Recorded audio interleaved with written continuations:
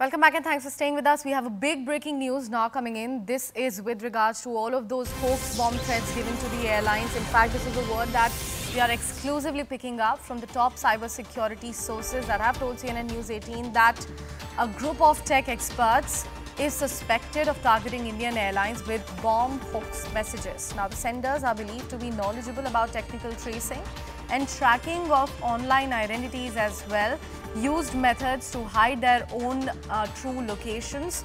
In fact, initial analysis by central cyber agencies have revealed that no activity has been detected from the IP addresses associated with the bomb hoax threats which were given to the airlines in the past couple of weeks. In fact, the exit nodes of these IP addresses are all VPNs related. In fact, the email IDs which were used to create accounts on platform X, formerly known as Twitter, are now suspected to have been generated through VPN services as well, which of course, plays a crucial role in masking the sender's identity. Going to be a big challenge for the cybersecurity team to trace all of these, uh, the epicenter of all of these hoax bomb threats given to the airlines and of course, causing a big concern for the passengers traveling through those concerned airlines. We have CNN News 18's Ankur Sharma joining us on the broadcast. Ankur, a very good morning to you. Like we said, it's going to be a big challenge for the cybersecurity team to trace all of these people who are actually sending out these messages, emails, as well as making some social media posts.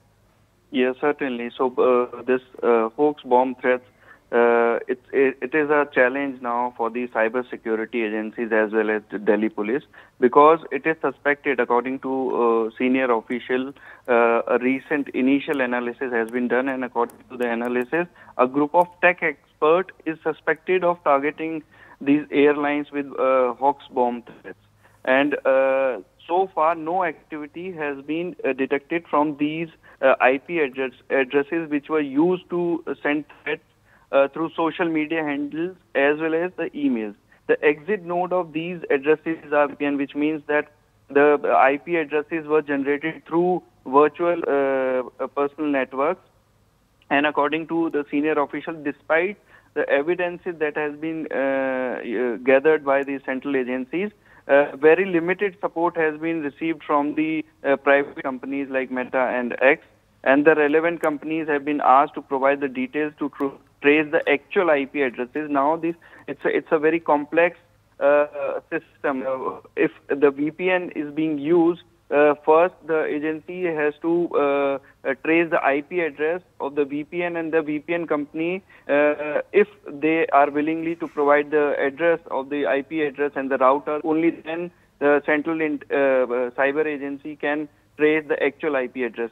And also, according to the official, uh, while there is no activity on these IP addresses, the initial analysis indicates that uh, this has been carried out by a group of multiple tech experts. It is not, uh, it is based on the language, uh, on the pattern of mail and the messages sent uh, uh, to the various airlines through social media, which is X, and through emails.